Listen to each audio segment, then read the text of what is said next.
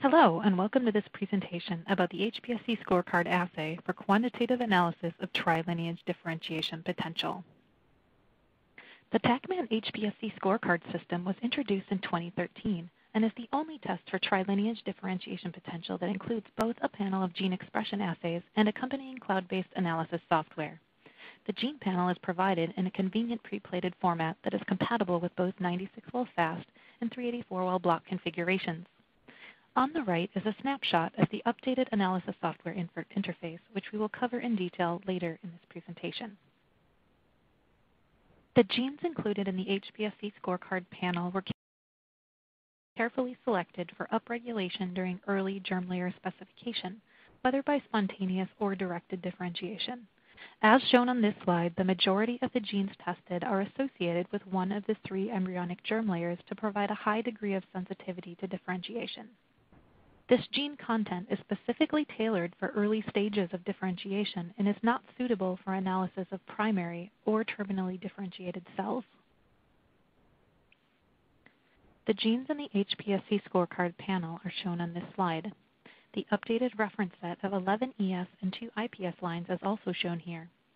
Note that the reference lines were grown on feeders in KSR-based culture medium. We will review results from lines grown in several different culture systems later in the presentation. Now that you've seen the genes in the panel and the lines included in the reference set, let's review the main results page. First, you will see the name of the file the data shown came from at the top of the page.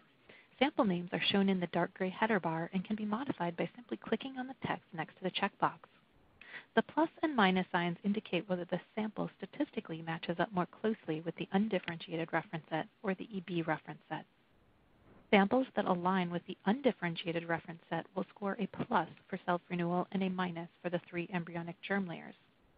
Samples that align more closely with the EB reference set will score a minus for self-renewal and a plus for the three embryonic germ layers. The light gray box plots indicate the range of scores for the 13 lines in the undifferentiated reference set, and the colored dots correspond to the sample scores. As shown here, hovering over a box plot will show values for both the sample score and the reference range.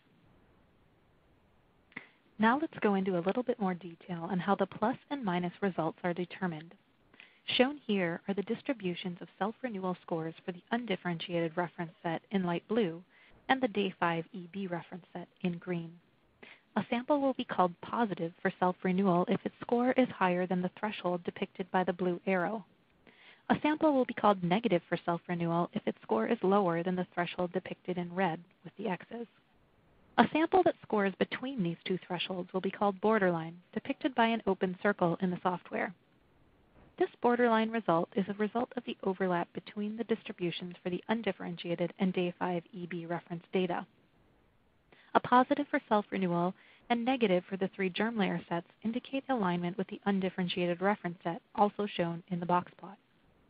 You will also see that, like any assay, there is always the chance of false negatives and false positives.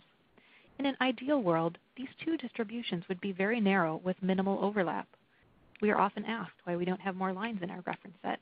We chose the 13 lines that are included in the reference set very carefully based on the quality of the data. Increasing the number of lines in the reference set tends to broaden the score distributions, which leads to the mathematical outcome of a higher percentage of false positives and false negatives. Keeping the reference cloud restricted to a small number of very high quality data sets increases confidence in the assay results.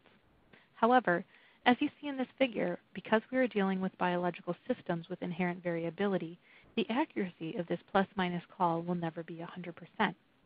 This is why we highly recommend testing a line in both the undifferentiated and EB states and comparing the two scores to determine the differentiation potential of a line rather than evaluating a single score in isolation.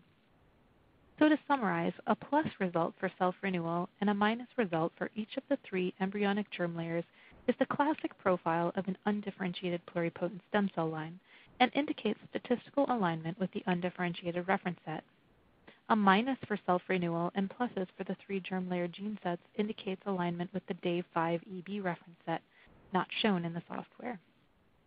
A borderline result depicted by an open circle is shown for scores that lie in that overlap between the two reference, reference set distributions. Here we show another new data representation. The gray box plots show the range of scores for the 13 lines in the undifferentiated reference set. For those that may be unfamiliar with box plots, they are a statistical representation of a range of values. The top of the whisker represents the maximum value in the dataset. The bottom of the whisker represents the minimum value. The horizontal line in the middle represents the median. The two whiskers and two boxes represent the four quartiles of values, half above the median and half below the median. In this case, four ranges are shown for the four different subpanels within the scorecard plate. Each sample score is plotted in a different color for comparison to the undifferentiated reference set.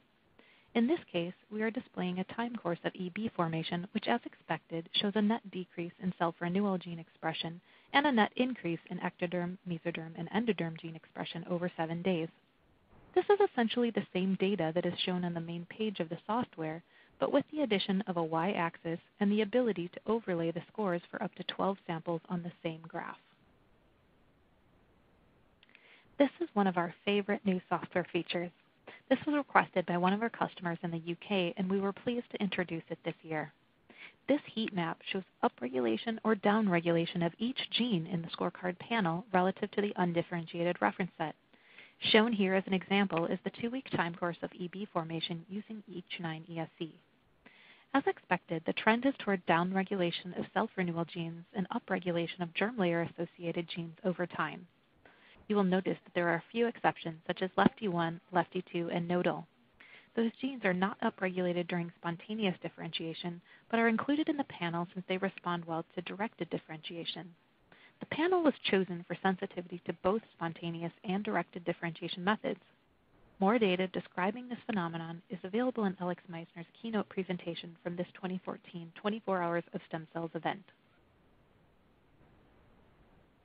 Now that we've reviewed the updates to the HPSC scorecard analysis software, let's go through a few data examples. Shown here are scores for two pluripotent stem cell lines cultured under three different media conditions. KSR-based medium on feeders, StemPro on Geltrex, and Essential 8 on vitronectin. Note that all media conditions show expression profiles similar to the reference set for the self-renewal factors and comparable or downregulated germ layer factors. The correlation plot in the lower left shows that the gene expression is highly correlated across all these conditions, and the scores show the classic undifferentiated state profile, plus for self-renewal and minuses for all three embryonic germ layers.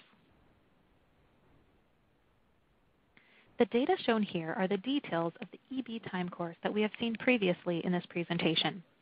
H9 ESCs were cultured in KSR-based media on irradiated MEFs prior to removal of FGF. H9 EBs were cultured in suspension over the course of 14 days prior to scorecard analysis. The summary shows that the cells are positive for pluripotency. EB formation at day 2 is positive for ectoderm but negative for mesoderm and endoderm. As the EB formation progresses from day 4 to day 14, the scores for all three germ layers continue to increase, whereas the scores for the self-renewal factors decrease. The table with the scores also reflects the same pattern. This slide shows directed differentiation of cells into ectoderm in monolayer culture. As you can see, the three-day time point is too early, but the cells are positive for ectoderm at day 5 and day 7. H9 cells were differentiated into NSCs using Gibco PSC neural induction medium denoted here as NIM, and scorecard analysis was performed at various time points. The control sample is undifferentiated H9 ESC. The last example that I will share for today's presentation is data generated with a line that is biased against two of the three embryonic germ layers. This cell line was generated by Dr. Guokai Chen, who previously developed Essential 8 medium in the laboratory of Dr. James Thomson.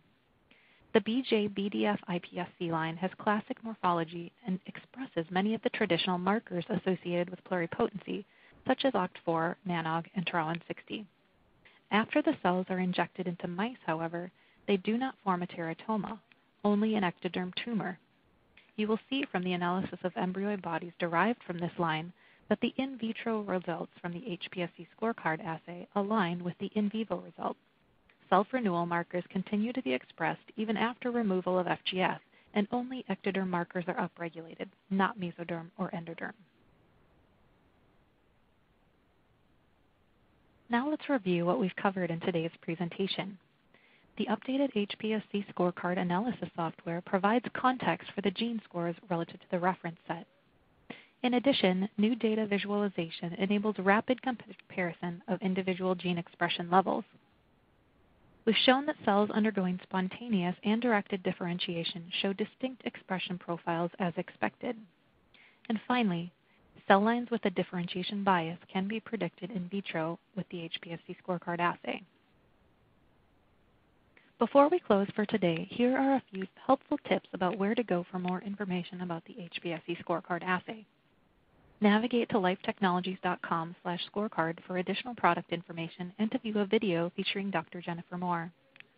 On the scorecard resources page, you will find lots of technical details about the assay and how to get it up and running in your own lab. You may also log into the analysis software and create a demo project from the URL lifetechnologies.com slash scorecard data. Finally, I would be happy to take your questions directly at any time at deborah.tyberg at lifetech.com. Thanks for tuning in and have a great day.